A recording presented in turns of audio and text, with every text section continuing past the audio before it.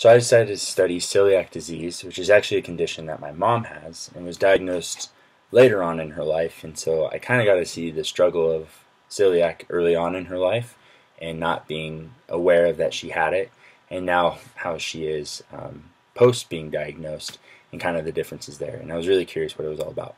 So celiac is essentially an immune response in our body where it's negatively responding to the introduction of gluten, which is a protein we find in barley wheat, and rye. Uh, and so what we basically have is that in our small intestine we have these little villi, which are finger-like, kind of worm-like lining of our small intestine, which are really primarily there to protect but add surface area for absorption in our small intestine.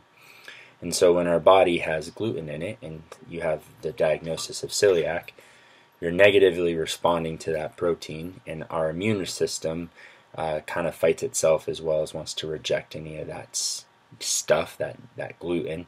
And um, in the long term, it's actually really dangerous because our small intestine will eventually kind of become damaged and those villi won't work properly.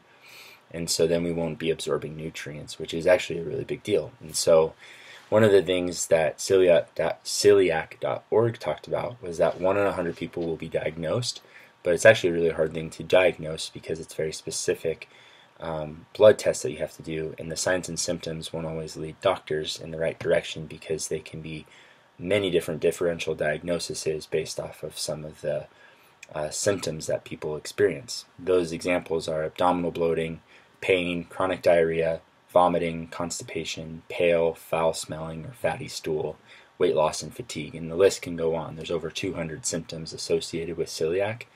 And so oftentimes doctors can be misled at first and have um, a hard time finding it unless they do a specific blood test.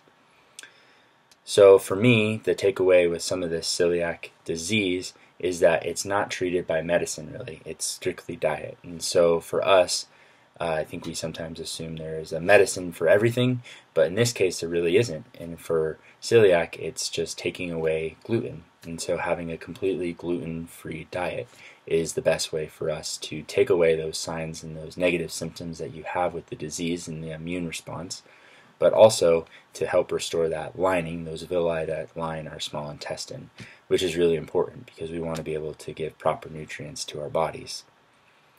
Uh, one article said that it was primarily a genetic thing passed on along in families saying that about 10 to 20 percent of people who are diagnosed with celiac will most likely have a family member who also has it or had it. Um, it's also more prevalent in uh, women than it is men, and children actually will be diagnosed uh, with it more than adults will be. My big takeaway with this disease is for us to recognize that our diets are a very important and vital role in our health and the longevity of our care.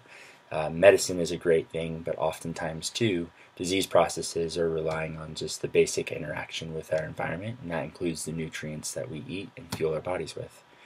It was a really fascinating thing to kind of learn about and how my mom had to deal with that, and so for me to have a little bit more knowledge was really key.